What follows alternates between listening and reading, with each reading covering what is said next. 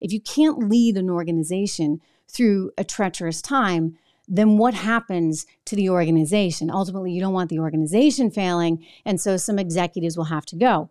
Wall Street's been quite forgiving in terms of the analyst community of Anheuser-Busch. You only had one analyst that I've seen so far come out and say, hey, this is a hold. I mean, he didn't even say it was a sell, but that was the HSBC analyst who was like, yeah, I don't know if the CEO is going to be able to get the company through this challenging time.